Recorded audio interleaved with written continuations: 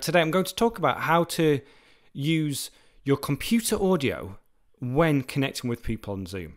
Now, just to help you understand this, imagine that you're teaching a class in a traditional setting and you press play on the CD player or the audio player, and everyone in the, the room hears it exactly the same.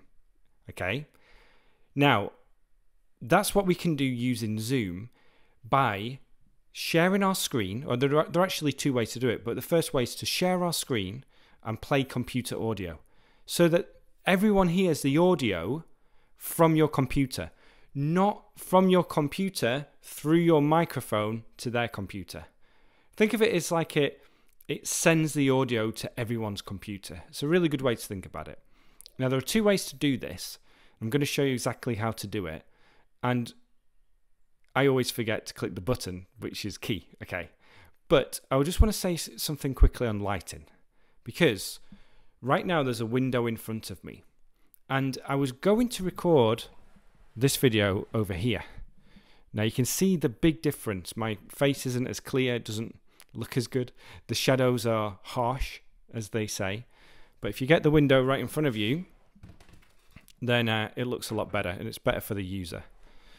Um, there's a, a link in the description that talks all about, or it gives you the recommended lighting setups for you, and there's some budget options there. And also, this microphone is there too. So I'm sharing my screen so you can see exactly what I'm doing. Um, recording my screen. This is really confusing in a way because I'm using QuickTime to record all of this. But I'm going to share my screen and record a Zoom video so you can hear what the audio sounds like when the video is recorded. Okay. Share screen. Google Chrome, make sure this is clicked. Share computer sound. Okay. Now you can also optimize screen share for video clip as well, which is really useful. But before I do that, I'm just going to record the Zoom meeting so then I can do a clip of what the recording sounds like. Chrome, share. Now what's really useful is when you do the share screen, it opens up the screen you're sharing so that you, as a user of Zoom, can easily navigate that screen and your little camera's in that top corner. for passing by the channel and today we are going to talk about how you can improve your English listening.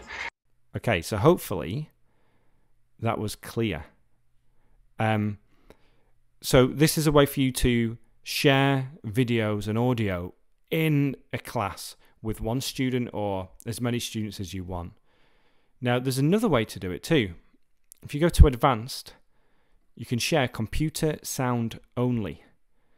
If you click the little question mark, share audio from your computer without sharing your screen. So if I click share this time, right, it's going to keep this big thing on because of uh, the big my webcam on. But then if I click this, but then if I click this. How you can understand native English speakers when they talk. Then it's just going to share the audio of that, not the video.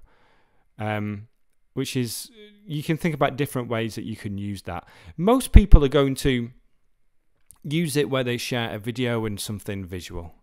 But those are the, the, the those are the two main ways that you can share audio through your computer and send that directly to people on the other end. Okay. So um, if you have any questions, leave them below. Check out my other videos that talk about how to use Zoom, how to teach online, equipment that you need. And yeah, check out the description because I'll leave a, a list